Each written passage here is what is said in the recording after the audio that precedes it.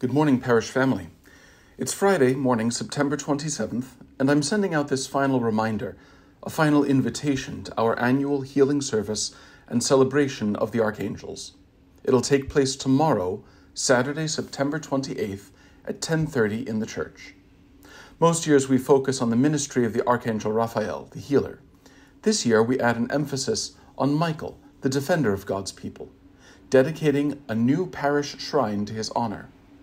Prayers to Michael have occurred throughout church history, but the most recent focus on him came at the turn of the last century. The Industrial Revolution, anti clericalism, and the rise of atheistic communism came together in a perfect storm, challenging the Church's message of hope and driving millions to despair.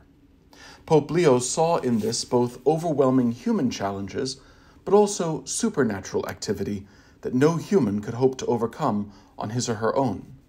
And so the Pope asked every parish in the world to say the St. Michael prayer at the end of every Mass, so that God's people would know that they are not alone in facing modern challenges, whether human or diabolical. Our time also seems to overwhelm us.